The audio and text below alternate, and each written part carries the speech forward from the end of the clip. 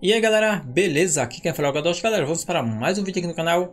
Dessa vez, cara, vou trazer para vocês um vídeo, não vai ser de GTA V Online, não vai ser gameplay. Galera, vai ser um vídeo onde eu vou falar para vocês, onde eu queria falar para vocês, né Por que eu não trouxe o vídeo esses dias, galera?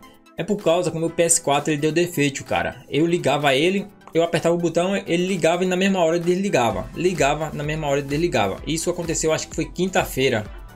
Aí na sexta-feira não deu para mim arrumar já era pra ter arrumado, né? Aí galera, passei o final de semana sem, sem jogar. Eu acho que eu tentei fazer uma live no, lá no canal, mas era no, pelo PC. Tava travando muito. Não deu pra fazer. Então esse vídeo que eu queria falar pra vocês era que eu consegui arrumar o PS4. Levei pro pessoal arrumar. E queria agradecer a todos vocês, galera, pelo apoio que vocês estão dando no canal. E era isso que eu queria falar pra vocês. A partir da manhã eu vou continuar trazendo os vídeos de GTA, trazendo os vídeos de outras coisas também. E espero que vocês gostem, beleza?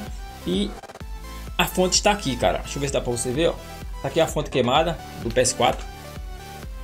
Para quem nunca viu uma fonte do PS4 é essa aqui. Se você for comprar por aí, galera, em média você vai pagar 350 reais numa fonte.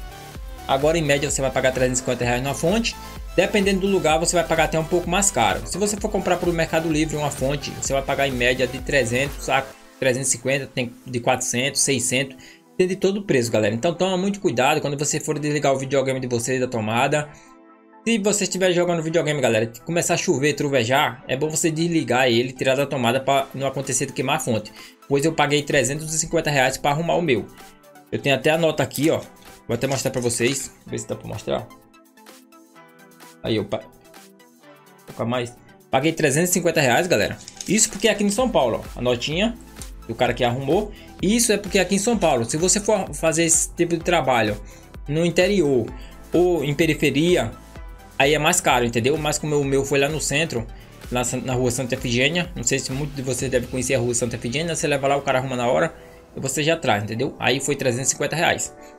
E ele tá bom, galera, agora tá bom, ó. Aí, ó. Tá tudo certinho, funcionando de boas. Então tá tudo certinho mesmo, aqui tá minhas contas.